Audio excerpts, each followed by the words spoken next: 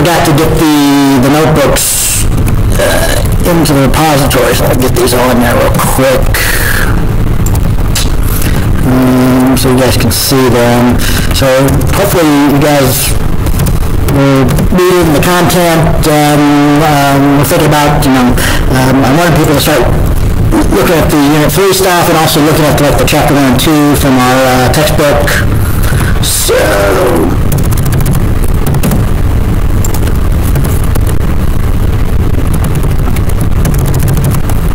there we go. More. All right. So, um,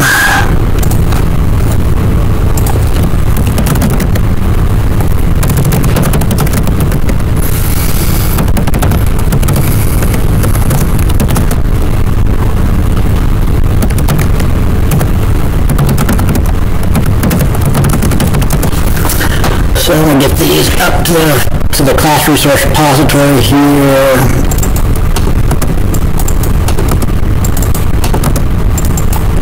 I haven't tried rerunning these, so I don't guarantee that they'll run cleanly until I get a chance to test them, but I'll at least get them in here.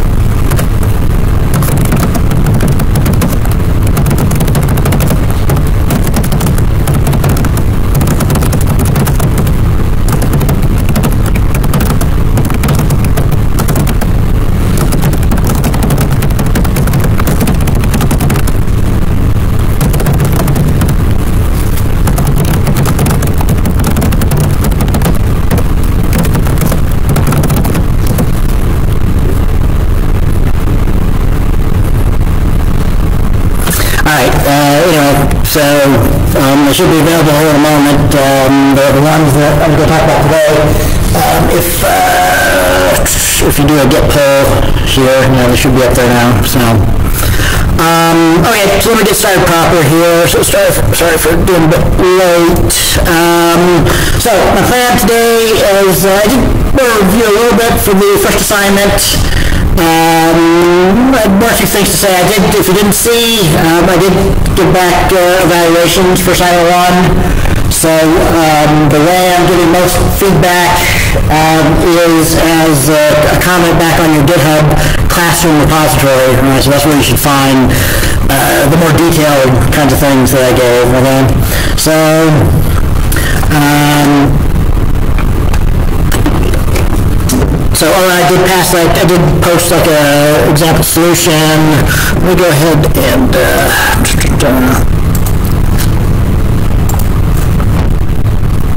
open this up here. Well, it's been too long on this, uh, but, uh, so a few more general things I kind of want to, remind people of, uh, here or in the video, um, about doing the assignments here, so, the assignment one solution.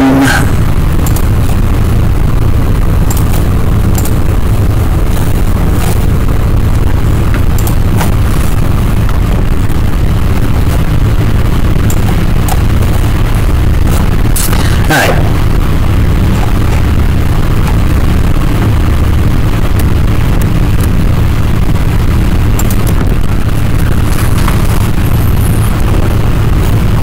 So this should be the one that I posted.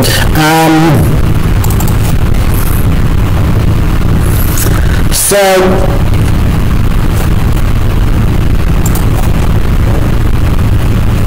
um,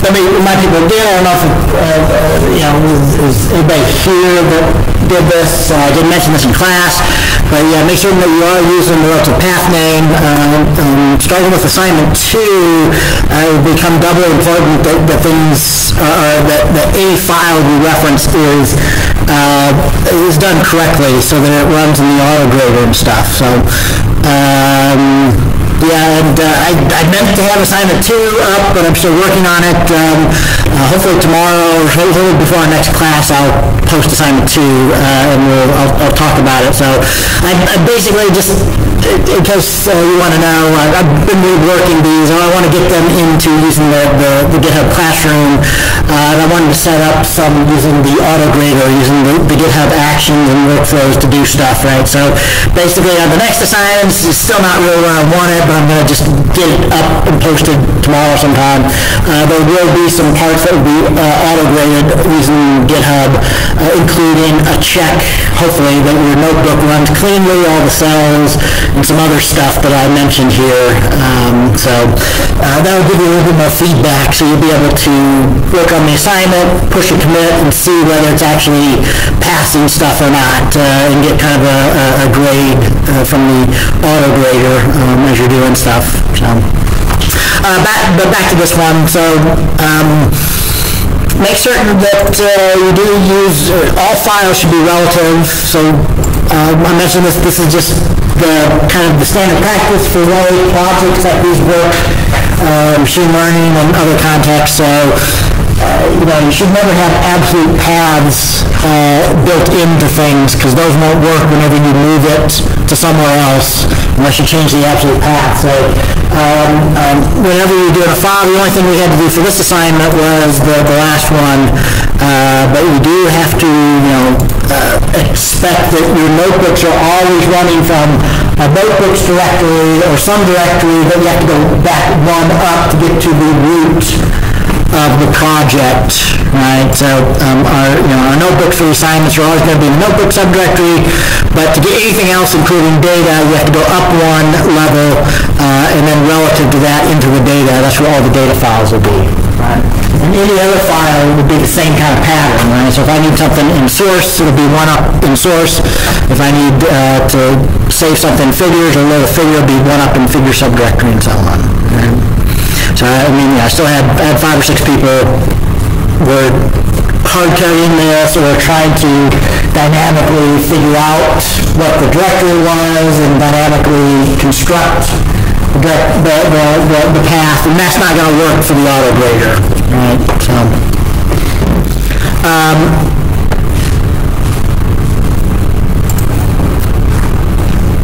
and in general, you know, do this. Again, I, you know, I, again, I had at least four or five people, the notebooks didn't run cleanly, right? And that can lose you significant points, uh, starting with the next assignment.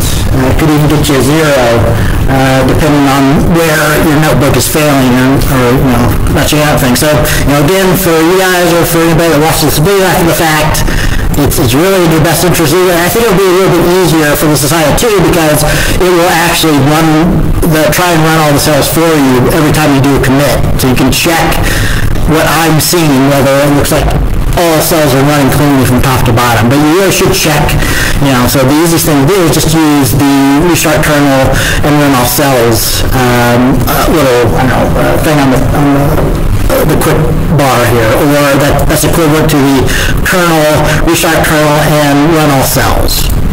Okay? If you're not doing that, the, the most common thing is uh, people changing a variable name and not renaming. The other thing is, is people defining something uh, like in part four, uh, and then going back and working on part one, um, not realizing that they, they define a variable, but they don't define it before the stuff where they actually use it.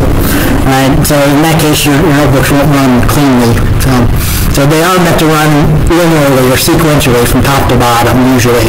Read that way and run that way. So, and, and they should successfully run all the cells. So just check that.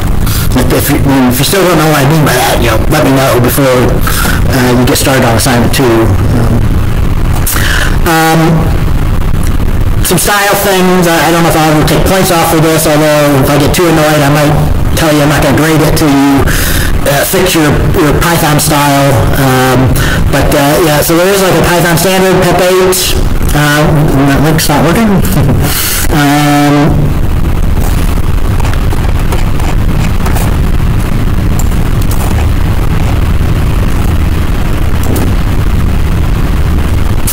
so I'm gonna have to fix that link, but um, this isn't gonna work, is it?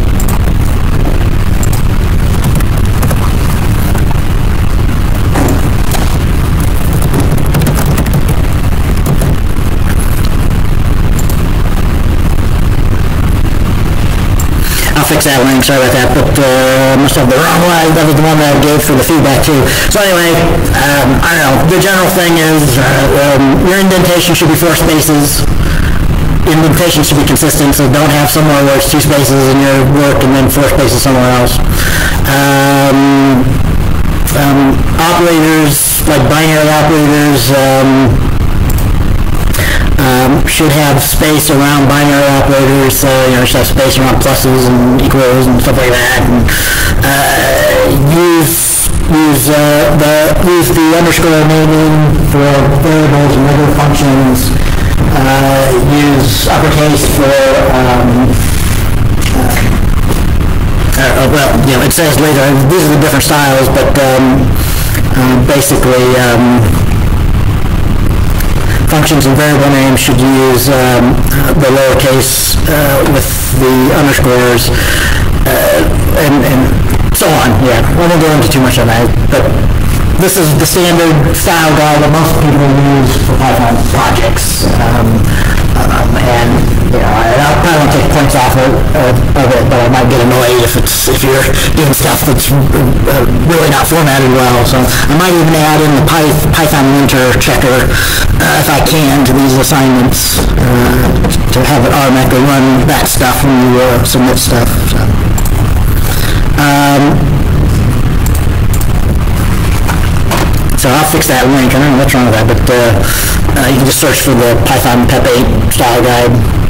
Uh, likewise, I mean, you know, this class isn't about uh, oops, about um, about using Git or DevOps or stuff like that, but I do like people to use kind of best practices for like commit messages. So I don't like seeing commit messages that were um, like uh, uh, made a commit, made a commit, made a commit. I can't tell what you're doing just from reading the commit messages. So um, you should have like a, a summary title and then a sentence or two description for the commit messages. So yeah, I don't know, neither of those are working. I guess I gotta fix both of those.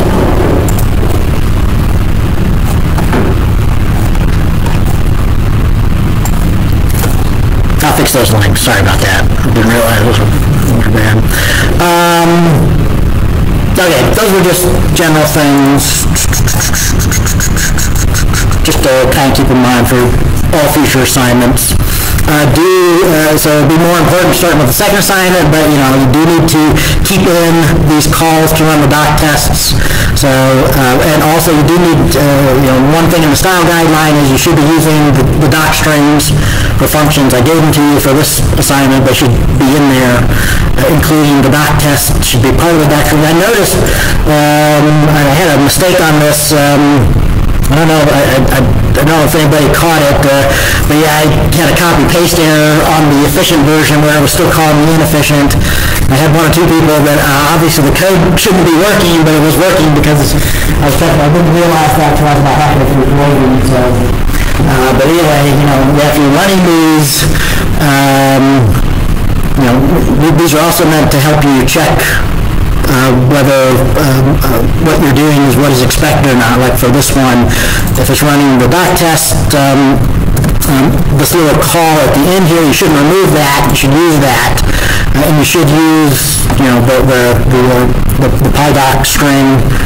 Um, with these doc tests in here, that will actually just run those, right? So you should get all okay with, with this for, for assignment two, same thing, you should get all okay if that runs in notebook, and if it doesn't, uh, you might have an issue, you might not be implementing something the way I expect, you're not getting the, the correct answer or the correct result. Alright. Um,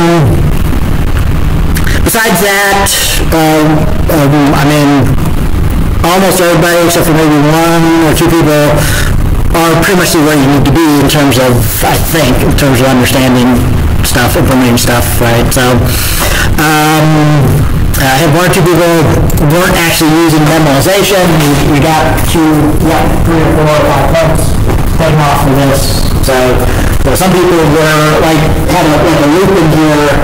Uh, so if I asked it to calculate the 37th, the loop went from like 3 to 37, uh, calculating third, fourth, fifth, sixth one. Um, that's not really memorization. That's that's just uh, pre-computing Just using a loop to, to, to, to compute with the 1 through the 37th one, right? So memorization looks like this. I I gave, I don't think I gave everybody this comment, but to me, the most, this is the cleanest kind of implementation. The, the idea of English is, is that you first check if it hasn't been memorized yet. So if it's not in the lookup table, we'll have to do the work to do the calculation and insert it in the lookup table. Once you've done that, so after that, I know it's in the lookup table, so I can just access the lookup table and do it? So if it's already in the lookup table, just just skips over it, reaccess is read. If it's not in the lookup table, you do the work to calculate it, and show you the lookup, right? So Some people did it the opposite way, so check if it was in the lookup table and returned it, uh, so have multiple return statements, which yeah, works just fine, but um, uh, there's an alternative, alternative way to think about it. That's the way I usually think of memorization. Is it doesn't need to be doesn't need to be calculated. It's, it's not in the table yet. Um, and if, if it has been calculated, do the work to calculate it, get it into my table. And then after that, I can just do the lookup from there on out. Um, all right. Um, so hopefully not anybody has been turned to class, but a few people. Uh, it's, it's, a- it's a nitpicky thing, but, uh, but um, the- the, I guess the point on this is be aware of the shape. So in some contexts, I need a uh, array array or a column array to make things work, right? So sometimes I need a vector, one dimensional of five items, but sometimes I need a two-dimensional array with one row and five columns, or a two-dimensional array with one column and five rows to do the matrix multiplication correctly or whatever, right? So the shape will work or not, even though you got the same values, the shape will work or not work uh, in some contexts. Uh, and you have to have the right shape and the right number of dimensions to do different things. So just, uh, just a, a particular thing you need to be aware of for NumPy arrays when you're using them. Right? How many dimensions um, and what the number of items is in each dimension, their shape. Um, and, and, you know, like I talked about before, but, um, and I, I probably gave some, some snarky comments. To me, it's much easier to just figure out how to do Boolean, uh, Boolean indexing. We can write expressions that look almost like the algebra that we're trying to do here, right? So the update for Z, if you have a mask of just the values you want to update, is to take those values you want to update. So when I read this in English, the mask is the values, uh, is, is the values that I want to do something with. And what I'm doing is those values, I square them, I add in uh, those corresponding values, the, the complex number, and we assign those updated values back in. And That will only affect the ones where m is true, uh, if you do it like that. Um, I mean, not that you can't get it to work using other stuff, using np.where and stuff like that, but, uh, but yeah, things like this, if you understand Boolean indexing or fancy indexing can often make the readability more straightforward uh, when you do stuff like this, use vectorized operations and a vectorized arithmetic expression here.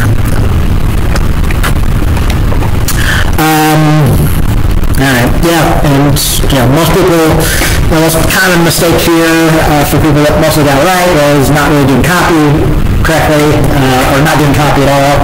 So, um, so I mentioned that before, if you don't do that, so the reason why I, I displayed Z here, uh, and then called the function and displayed Z again is, is the, Z shouldn't be modified as a result of going in and calling this function here, right? So when I ran your notebook, I could tell, as long as you still have those in there, that uh, whether before and after was the same value or not, indicating whether or not you were correctly, whether you were operating on the parameter that passed in, be modified, or making a true copy of it and working on the copy. Some people made a copy, but then off and did the work on the, the parameter that was passed in instead of the copy for some reason. Still not quite understanding why or what we're doing here. Um, all right. And uh, one or two people um, just hard-coded this to be 256 or um, we're we're ignoring the parameters. So I guess the general comment on that is, it's just, you know, uh, uh, understanding what the purpose of of the function is and understanding what the purpose of the parameters are. So um, if you ignore the number of iterations, just do 256, if I write another test that has to do 512 iterations, yours won't work, right? Uh, Or, yeah, somebody was, was actually ignoring the C value and just punching it in the, the, the, four plus point six J. Right, but again, the purpose of that is I should be able to write some more tests and use this function where we use a different, um, um, constant complex number where we're updating C on, and we get a different fractal if we do that. And we do that, but I could.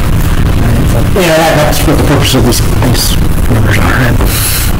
Hopefully everybody knows, you know, the basics, so that's kind of, what, the purpose of these first two weeks, that uh, you go off and, and self-learn uh, the- basics of Python, like writing functions. So this is meant to be slightly more than a basic function, so we define a function, we have three parameters, we are using default values here, right? So if you don't specify, we don't have to specify C in number of iterations. Uh, If you don't, it would use the defaults here. Let me know if anybody has any questions or stuff you want to discuss. um. Um, yeah, and I think that's all that I wanted to mention. Um, I'm, I'm almost, everybody was fine on the pandas except maybe not loading the data file. So, um, pandas, NumPy, you know, we will be using in this class, so you you should continue practicing with them. Um, I'm sure you'll get examples and practice from doing stuff on how to use them effectively, uh, to do stuff like this, you know. So pandas is, is really about, um, um, a, a table of numbers, um, and it makes it easy so we can do things like add new features or calculate new features and rearrange stuff and rename things and also do data, you know, so uh, this week uh, you'll be doing, in the next assignment, you have to do with data cleaning and stuff. So one of the big things of using the pandas data frame is we can do cleaning, so we can figure out if there's missing values easily, um, uh, and, and fill in those missing values. We can uh, do things like normalize uh, features so they all have the same, have within a particular range and stuff like that. So that's some of the stuff that we talk about this week. Um, and that's one of the main things we use pandas data frames for.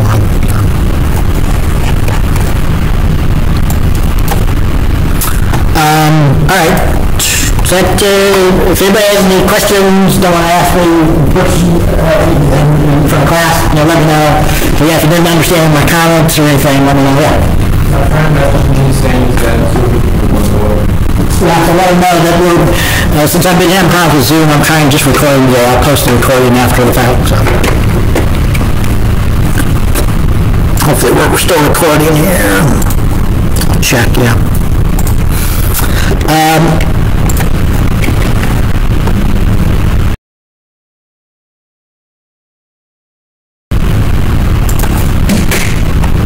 Okay, so, let's move on then. So that's the first assignment.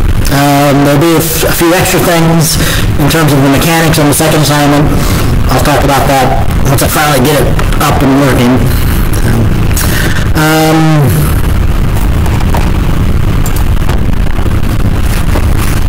all right, so for, yeah, for the rest of the day, let's move on to new stuff. Oops. What did I do?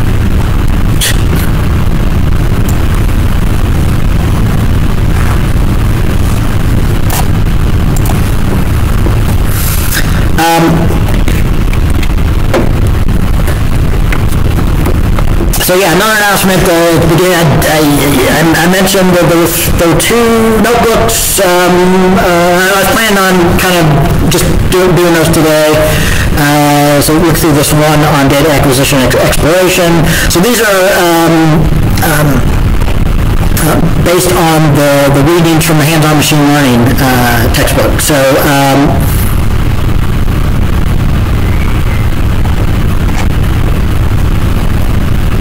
um, yeah, so um, the, the chapter two goes through uh, kind of an end-to-end example of getting a data set um, and um, doing some cleaning stuff. So I- it, it, it's a good chapter. Uh, so before we dive into some detail, get kind of a big picture of what a typical machine learning um, uh, project actually involves, right? So, uh, so yeah, I, I just put these up there right now, so you should be able to do a git pull and, and pull down, um, hopefully I got all the ones, uh, three different notebooks on exploration cleaning and uh, then doing some machine learning training, so. Um, I think I might have missed one of those though, how did I miss that?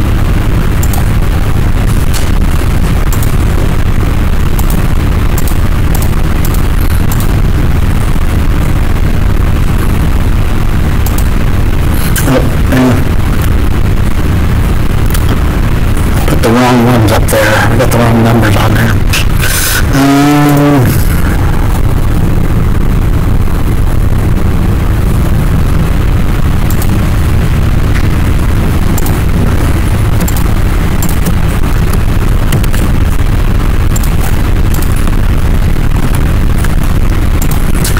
okay. Give me one more second. I really to have this up here.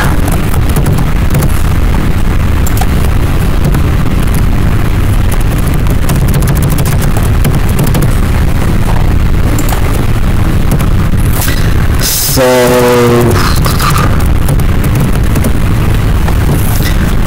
now there should be. Um,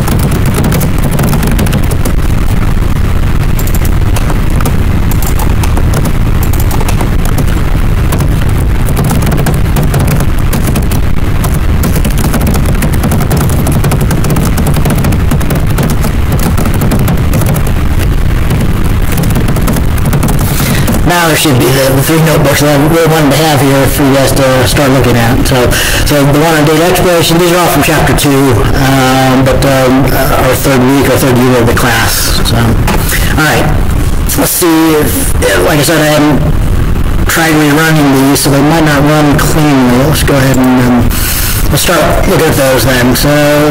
Um,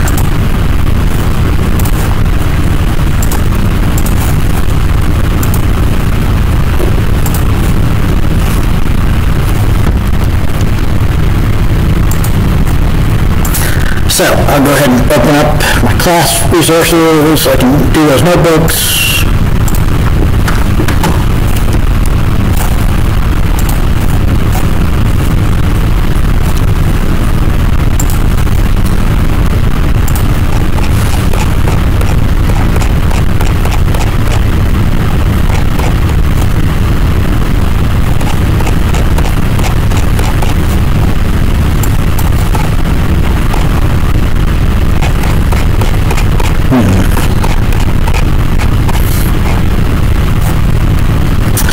Got some errors there. I don't know if I have no problem.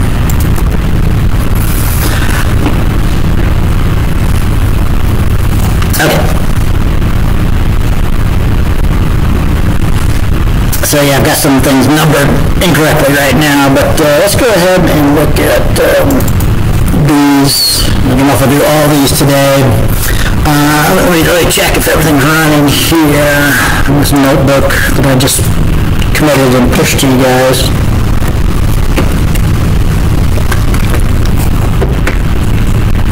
Yeah, looks like it uh, stopped somewhere.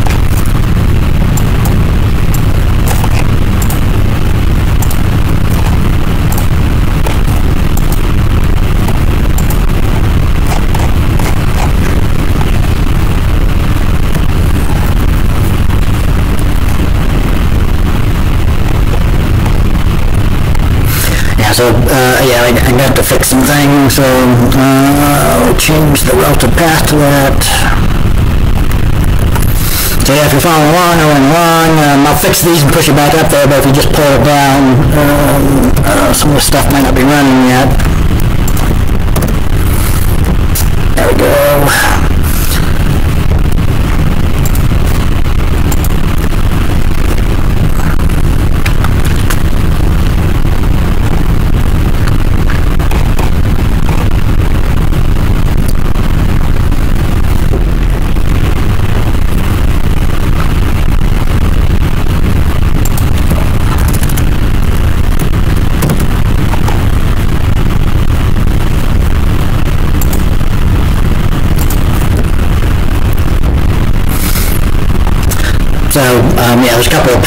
That uh, needed to be fixed, relative paths. So, All right, um, so I was, I was recommending, I mean, yeah, so we should be going through chapter two, uh, this in the machine, in the end uh, example. Uh, this is a good, um, kind of overview of the whole process. Um, and this will kind of, so, you know, uh, after we do this, next week we'll get into, uh, talking about, actual, um, uh, things like uh, classification regression, uh, and then we'll start looking at particular machine learning models. So, so we'll get into linear and logistic regression as the first ones that we study in detail. Um, but um, um, so if you follow one of these, um, so yeah, let's just uh, go through these. Um, so the example from the chapter two was um, using a data set uh, and showing uh, some examples of what you might do if you were doing a real machine data analytics, more like a data analytics project. So, so we've got a data set, uh, we want to get the data and do some visualization and uh, we first need to get it and clean it a bit, uh, do some ex- exploration, um, and then uh, try and build uh, a model, uh, a predictive model of some kind from the data. Right? So in this case, um, it's a um, it's a data set of, of housing um, uh, information, so it's, it's, information about house prices, uh, along other stuff um, uh, with other uh, features uh, in California, if I remember right. Um,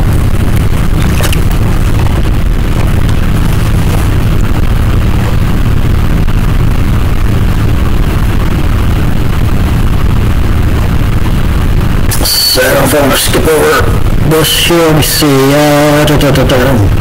Well, let's yeah, let's, let's look at actually using it. So. Um, um, so yeah, we, in this notebook that I gave you, it's actually downloading this, so I should probably just go ahead and move this repository. I don't think it's that big. Uh, but let's take a look at what we have here. So um, if you look at this, uh, the, the, the function in the notebook that we gave, this code mostly comes from the chapter two. Right, it's it's really some of the same code that we see in chapter two if you uh, read that and, and use it from the hands-on machine learning. Um, but yeah, what this does is this loads it and returns um, uh, a pandas data frame um, we do this. So notice that we're basically, uh, we're downloading stuff, but uh, the, the, uh, the end result here is we read in, we get a, a separated value file like we had for the first assignment, uh, and we read that into a pandas data frame, right? So, um, so yeah, in this first notebook, uh, uh, in the first part of the chapter two, uh, it was talking a little bit about what you would typically do when you're exploring data. So when you first start out with an unknown data set, how you would learn what's in it, uh, what's missing, what you might need to do with it, that kind of stuff. So some of the most basic, I mean, you know, you might have to do some stuff just to get to load, right? So even if it's a comma separated value file, you might find that, um, you know, you have to set some parameters, there might be some things that are quoted lines, stuff like that, you know, so it might not even load as, as simply as what was shown here, but once you get it loaded, some of the, you know, the most basic question is, how much data do I have, and what kind of features and things do I have, right? So we've talked about before, um, we mostly think of, in this class we'll be using just two-dimensional stuff, right? So we have, in this case, you know, if you look at the shape of that data frame that we got, um, it, I mean, this isn't big in today's terms, you know, there- there's 20,000 plus sample, there's 20,000 rows. Each row is a, is a, is a different sample of a particular uh, set of information about housing data in some, um, it's like counties or something like that, some, some, some regions here uh, that we have, right? So we've got 20,000 plus of those. We've got 10 columns. Um, So uh, what we've got is, so we just pulled out one of these at random, and we could have like looked at the first five. So. Uh,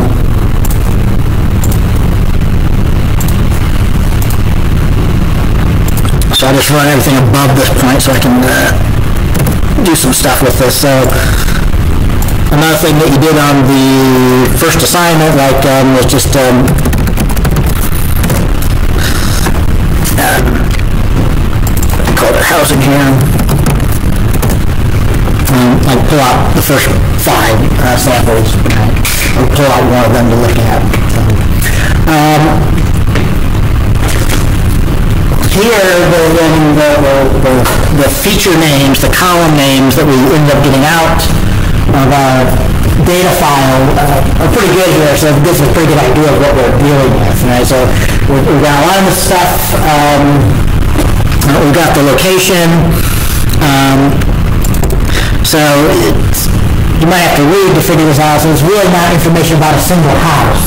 It's information about houses in some um, um, some political entity, like county or something. I can't remember exactly. Uh, so that's why you know we don't have the, the, the age of the house. We have the median age. So this is the the median, not the mean, not the average age, but the median age. is Probably years, most likely 52 years uh, for this house, for this set of data that was at that latitude and longitude. Um, this might, you know, if you, if you were thinking that this was a single house, this wouldn't make sense, but um, this is like a, like a total number of rooms, total number of bedrooms of all the houses in this uh, particular area here. And so on, right? So we've got other information. Uh, I guess that's the number of people. So this, is a small one here. Where we uh, if we look at some of these ranging from three, four hundred to, uh, we got two thousand, and, um, so we could start asking some questions, like, you know, what, what is the range of, uh, what's the smallest and largest number of population size, smallest and largest number of, of, um, of these other things here, uh, the, the price and stuff.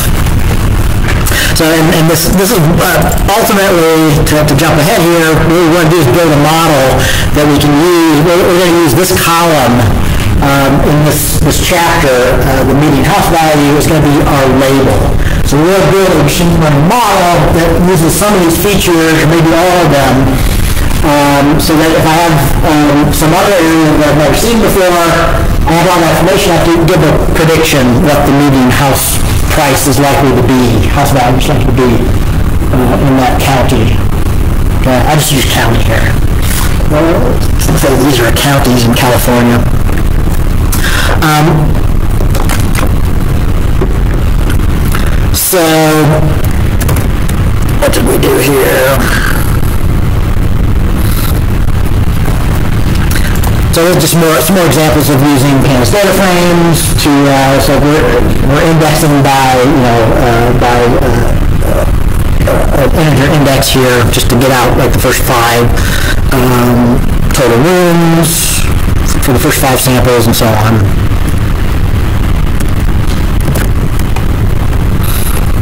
Um,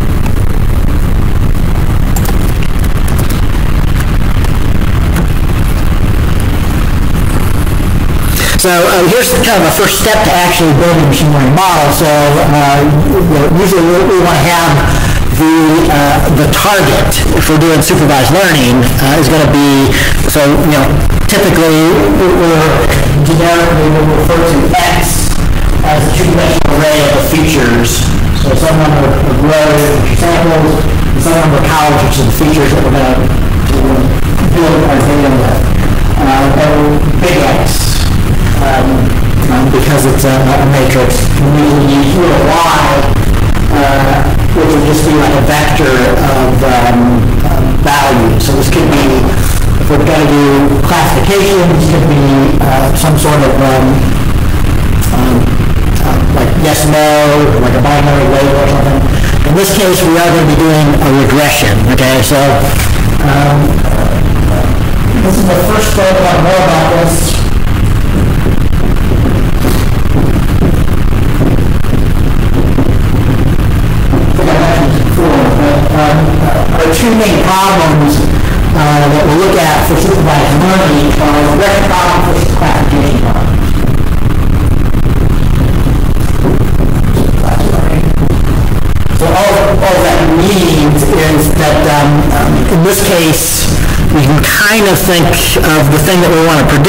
The, uh, the mean housing values effectively uh, is a number that can range anywhere from zero to millions of dollars to right?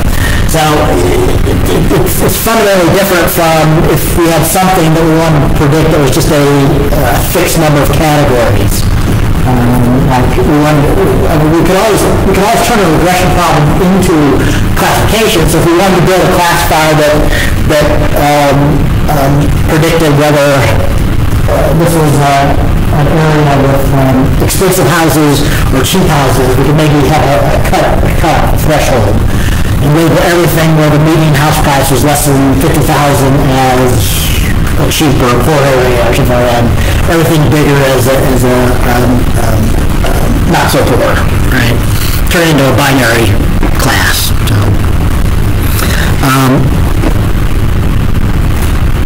but that's what we ended up with the labels, and that's what we're going to be using for our supervised learning. So, yeah, if you look at this, um, um, and the copy is kind of important here, so if we didn't do that, again, it would be um, uh, this, this is Pandas data frame, so it's a little bit different than NumPy, but, um, but here we're, we're ensuring that what we get out ends up being a new, um, uh, you know, a, a copy of those values. So nothing that we do on this should affect our original data set, uh, that we, the, the, um, the housing data frame that we have here. So, uh, but, uh, yeah, in this case here, um,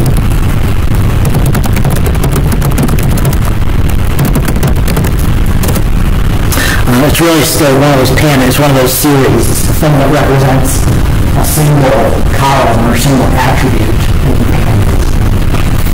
Uh, but, um, but the, see, you know, NumPy, or scikit-learn now, um, kind can handle pandas, data frames, and series, so then we don't really have to convert this explicitly into a, a NumPy array in order to use it. So we can probably just leave it as like a series like this. Um, So, for me, uh, one of, kind of, one of the first things I do, once I get a successful load, is I would use like, um, uh, like the info and the, um, describe, um, to get a little bit of, uh, more information about uh, what's in there, right? So here, you know, don't want to skip over this. So me, when I look at this for the first time, definitely watching out for stuff, the, the, the, the type, right? So basically, for pretty much everything to be a float value, right? So it, it thinks that everything can be represented well as, as a real valued number, except for one thing, the last one here. Um, and for that, so usually things that are string-like, uh, they're going to be like strings, we kind of show up as object types. Like it did here. right? Uh, and that's because, yeah, this, there was nothing we could do to figure out how to convert that to an integer or a float or something else that's more specific, so it kind of moves up. So when you see that, most likely you're working with a categorical variable, or you might be working with something that's really numeric, but you've got some data that's badly formatted or something, so you couldn't figure out all, how to convert all of it, and you might give up and turn it back to an object. So yeah, that's also having something come out as an object when you first uh, uh, read into data frame using pandas uh, can mean different things. Right? Could be string, could be categorical, or it could be that there's some data clean that needs to be done so it can get into something more useful, a numeric type or something like that. Um, but yeah, so for all these numeric ones, so I should have mentioned that, so one of the first things, uh, I might want to get a feel for the distribution of the data there. I might, might know what the typical value is of those, and uh, how much of a range there are, of those things. Some of these, it doesn't make sense, right? So latitude, longitude, um, um, and, you know, we can kind of, that's just the location, so yeah, what does it mean? The mean, the, the mean is probably going to be the, the, the middle uh, latitude, middle longitude in California, this is all very from California. Uh, but this might make, give us some more interesting ideas for some of these others, like uh, the, um, um, uh, like, we still have the house value here, even though we pulled that out to a separate, um, uh, variable that we're gonna be using later. Um, so here we can get some information about, you know, the thing that we're trying to predict. Um, oh, and the counts are kind of important here, well, yeah. So, one thing that we're gonna move on to here is that, um, we, uh, to do some data cleaning, we have to ask some questions about like if stuff's missing or not or malformed, right? So we can kind of get a hint of, of whether stuff is missing if you look at the count. So for any numeric attribute, uh, if it's not the, the, the 20,640 count, that means that some of the data that got read in wasn't able to be converted. So it was probably missing or maybe malformed. Right, So, so in this, this set was really only for example, but pretty much everything except for one of them, um, that we showed here, um, had, uh, all the data, right? So there was a few missing on the total bedrooms. And I can tell that from the counts being a little bit lower than the total number of rows or total number of samples that we had in our data frame here. Um, but, but yeah, so, uh, you know, this might help us, so for example, um, we've got uh, a median house price as low as just below fifteen thousand, uh, is the lowest that we have in here, up to, um, five hundred thousand, um, is the maximum that we have in here. Um, with, uh, an average, uh, so fifty percent, fifty percentile would be the same as the average, the mean, on this here. So averaging around 179,000. So this data set's probably old, so I- I'd be surprised if that's the actual, if we if we took- had two- 2024 data here. Probably higher than that, even over the whole state of California. Um, Income might look, so I'm, I'm bring up some of the points that are discussed in the chapters we were reading. So, so income, might, you might scratch your head on this. Uh, so, you know, here's another thing, it's, it's, uh, kind of standard practice for data sets like this to have what's known as a data dictionary. So another file that just lists out all the columns or all the features and describes them, what they are, you know, information like this, but already given for you. So that's a useful thing to have.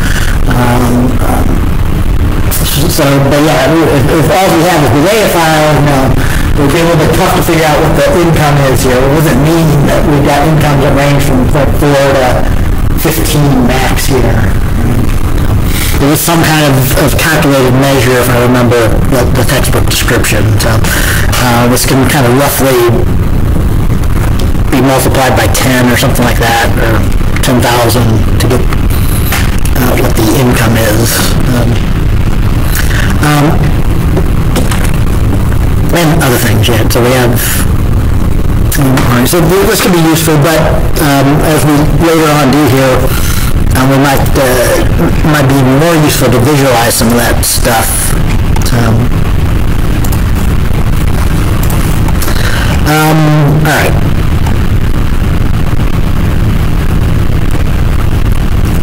So, uh, as, as already mentioned, the, um, um, the only column that we had that didn't look like it was going to be numeric um, was that ocean proximity. So, you know, we might want to explore what we've got in there um, and think about what we can do with it. And so, uh, something that's categorical, uh, our first question we to ask is what are the categories that we have? Right? And, and so value counts is a good those uh, other things you could do to get some more information. But this just goes in there, uh, finds out all the unique strings that we have and the count of each one of them. So now we've got some pretty skewed kind of categorical stuff. So we've got um, uh, a lot that's less than an hour from the ocean. Uh, don't have very many um, counties on islands here.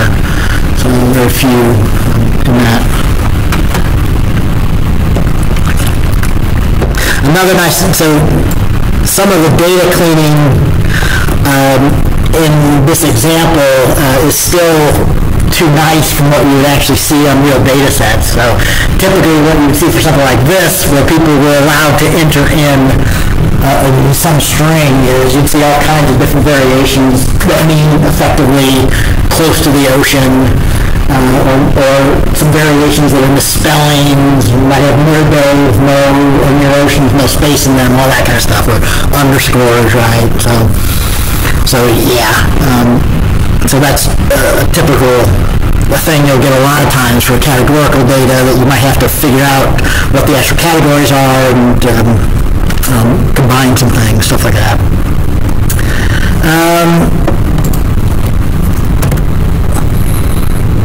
So, um, but, yeah, we can ask, since that wasn't numerical, we can ask, is anything missing for these value counts or not? So, since I know I've got 20,640, if I sum those up, so here we just sum those up, so it doesn't look like anything's missing. So we didn't have any of those blank uh, for the ocean proximity. By the way, you know, if you're thinking about things the way I am, like the, the first time that I ever did this, you know, it seems reasonable this this might be a very good feature to keep, right? If, if we're trying to predict house price, things that are uh, close, close to the ocean or on the ocean probably are expensive houses. If, if you know the way that, that California or American house markets work.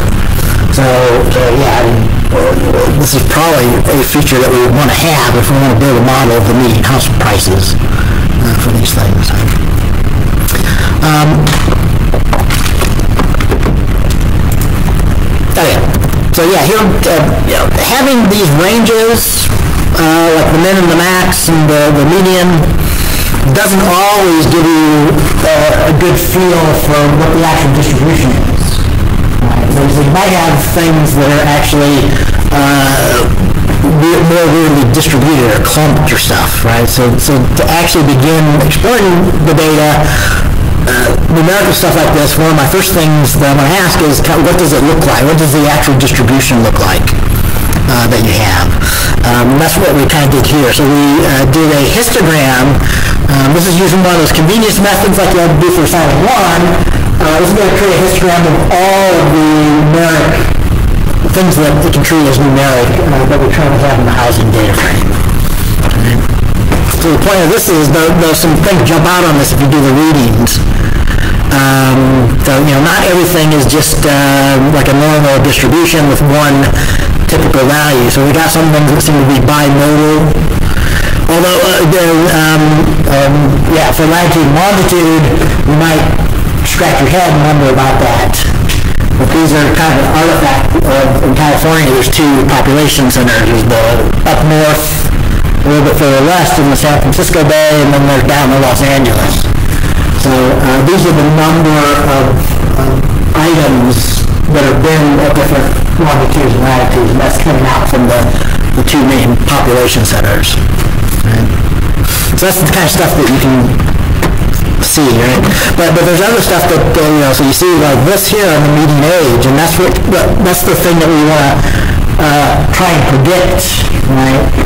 So, so that might mean something to us. In, in fact, like the textbook discusses, when you see something like that, it doesn't look like it looks like probably there's houses with median ages bigger than 50, but they were thresholding this. Anything bigger than 50, a median age of 50, we just mark as 50 So instead of getting a long tail of median ages of 51, 60, 70, we had a bunch of them that, you know, so it's not really the, the actual median age, that's 50 or, or older median age in here. Um, same here, the house value, right? This is especially, you know, if I wanted to have a accurate model um, to predict the house value, but we seem to be thresholded here as well. You know, we didn't really uh, record, this data set didn't record median house values of 600,000, 700,000, anything bigger than that just got entered as 500,000. So. But that's the data we've got here. Um,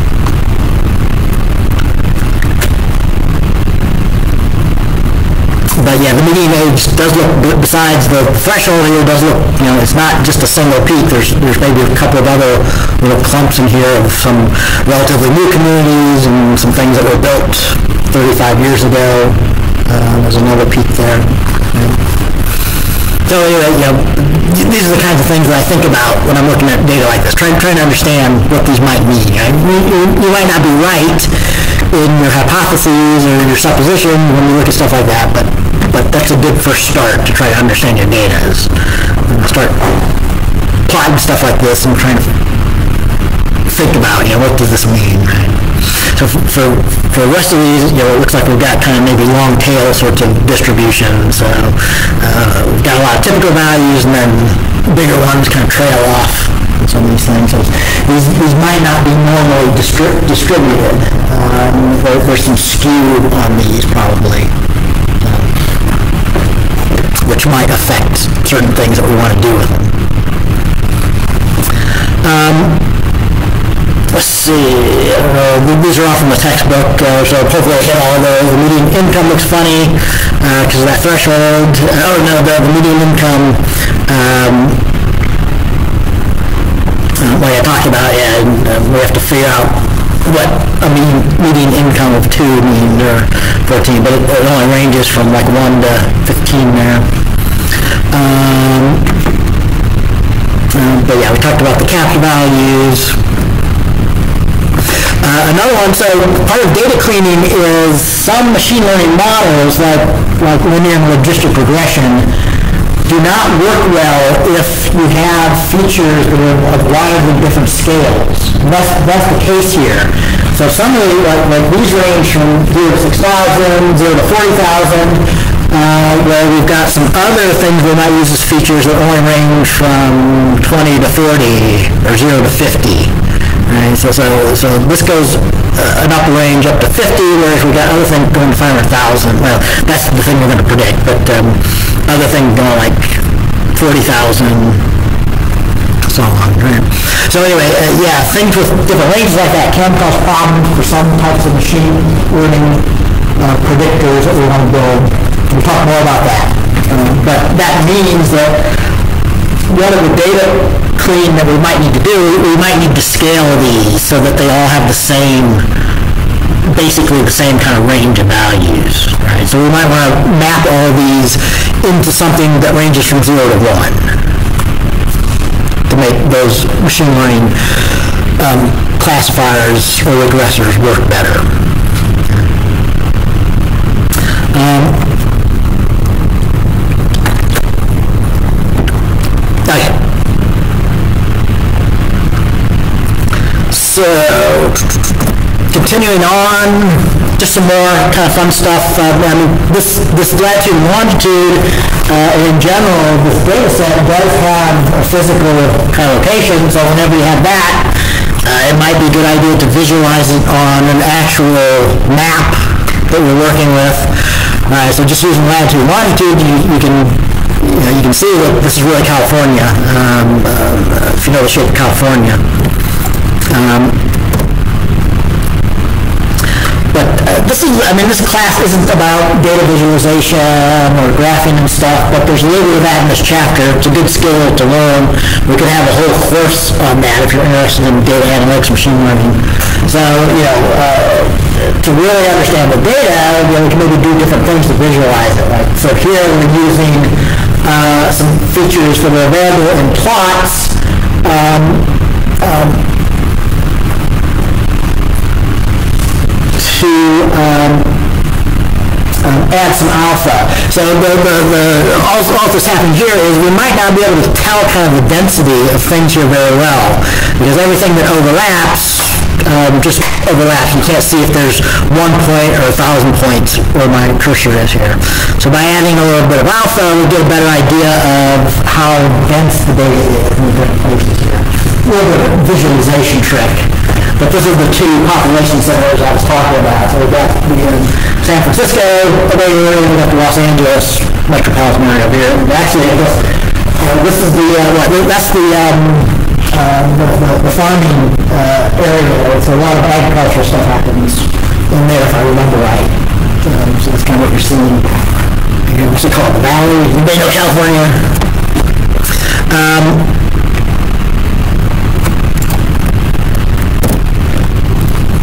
So again, this is all following the text, but yeah, so, you know, we can get even uh, better. So if we want more information, so we might want information, uh, and we can use various plotting things. If you, if you went through my uh, notebook on plotting, uh, you saw a lot of examples of this kind of stuff as well.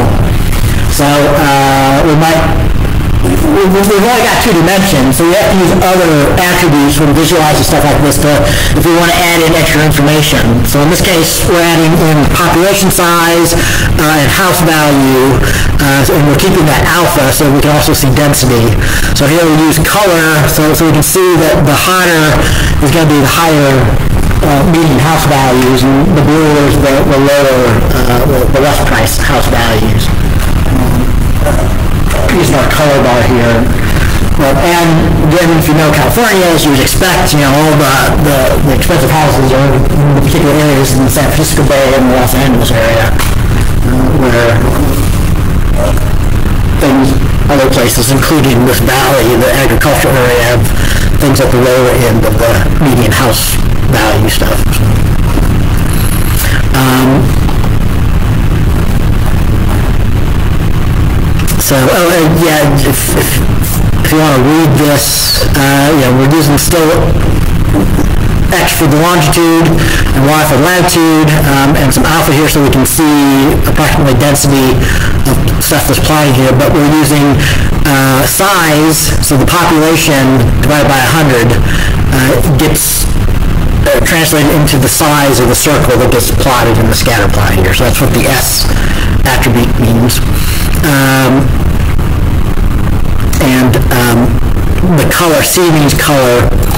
Um, so, so the, the color uh, I already talked about.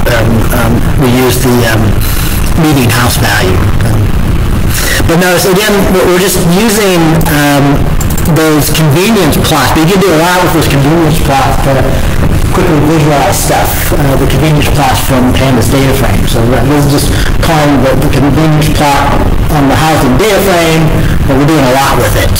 So we got a lot more feel for what we've got in here.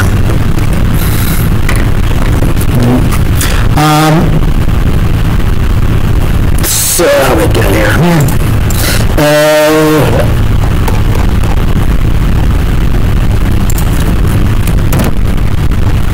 Yeah, this is directly from the textbook. So if I, if I wanted to, to get this figure, but for actually presenting, I don't know, like a conference or presenting to my boss, working on this data, I probably I might want to make it look better, so I might want to add in some little more axes and uh, use meaningful things for uh, a color bar and, and actually use a, uh, a map so you can see the real uh, California and the real political boundaries of counties and stuff in there. But yeah, again, this, came directly from the textbook. Um, I think all this code is uh, from the chapter two of our textbook.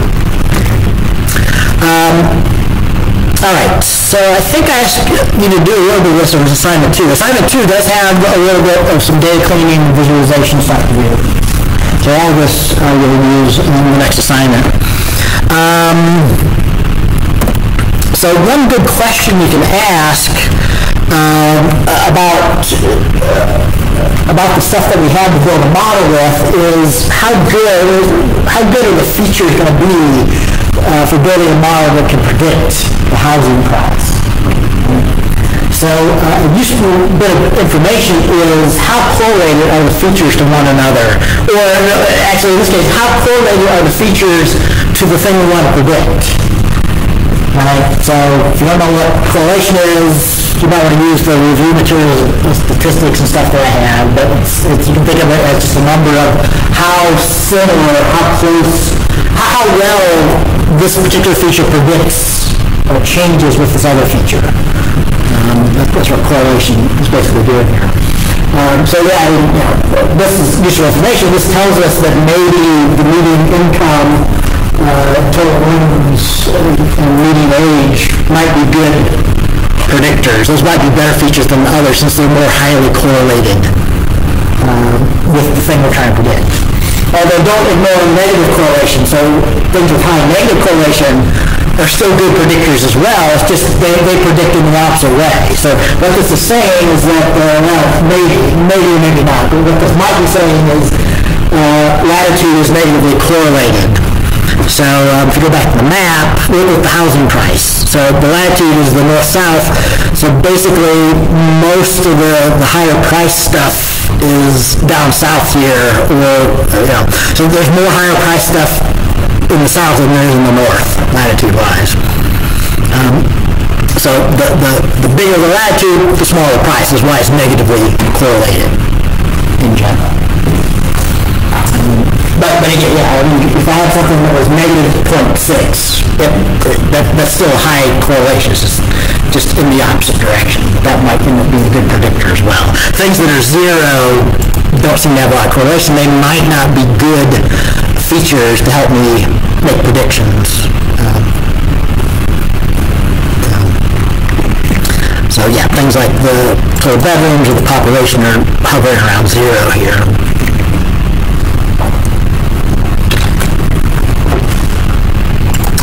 Um, but um,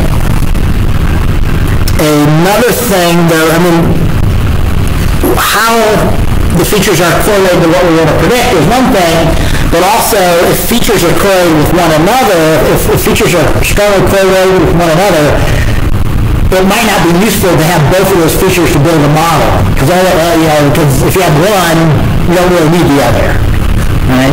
So, and, and for performance reasons or other reasons, sometimes you want to drop features that aren't useful. It'll make it so you can build your models faster. Uh, it might actually make your predictions better if you don't have redundant or overlapping information. So, so yeah, I think in assignment two, I asked you to also do some and correlation matrices. So this is doing the same correlation, but between every attribute and every other attribute. So we end up with a table of our, what, 10 or so numeric features correlated with the other 10. So you're going to have a perfect correlation, of course, of each feature with itself, but we can look through here and see which features are highly correlated with which others. Um, so like population total bedrooms, for example, is pretty high at 0.87 which, know, does that make sense? So uh, in, in areas that have big populations must have possibly larger families, you need more bedrooms. Maybe, yeah. Um,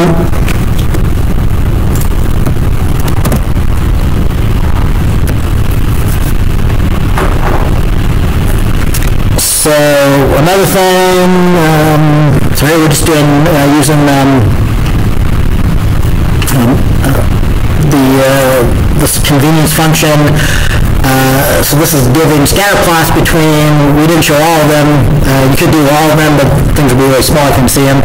So yeah, we picked out, I think, some of the ones with the highest correlation. So, but here, in general, if you don't, if you know how scatter plots work, um, if you have a, a general blob, there's not a lot of correlation, but if you have things uh, that, that are more kind of like a line together, there might be um, some correlation there. So I can talk about it. I'm kind of out of time, but um, but just another way of doing a similar thing, but using um, a plot rather than just this one measure of correlation um, to, to kind of visualize whether you think two values are correlated or not. Um, yeah, that was one particular one. So. Um, yeah, but roughly a measure like this, like using Pearson correlation, uh, is going to translate to something that roughly, if you plot it, will look kind of linear. Um, uh, but, but you get a good line on it. Um, Okay, so the last one, we're, we're, we're getting set up on, and I'll put this up then um, on Thursday. Um, so, you know, now that we have a little bit of a feel for the data, we're going to have to start doing some cleaning, uh, maybe picking out which attributes we want to use. Another thing of building models is sometimes what we have uh, you might be able to improve it. So you might be able to do some feature engineering by maybe taking some existing features or attributes and combine them in ways to make them better as predictors for the model that we try to build. So, um, so that's the, the, textbook discusses a little bit of that. Does some combinations on some of these, um, and that's what we started doing here at the end here. Um, um oh yeah, yeah, so that's a good place to stop. We got through that, that first one. Um, so yeah those, those notebooks are out there, uh, I guess nobody had access to them yet before the class, but pull it down, read that chapter, do them yourself, we'll be doing the stuff that we assign it to. um, All right, well, I'll see you guys in the next meeting, hopefully.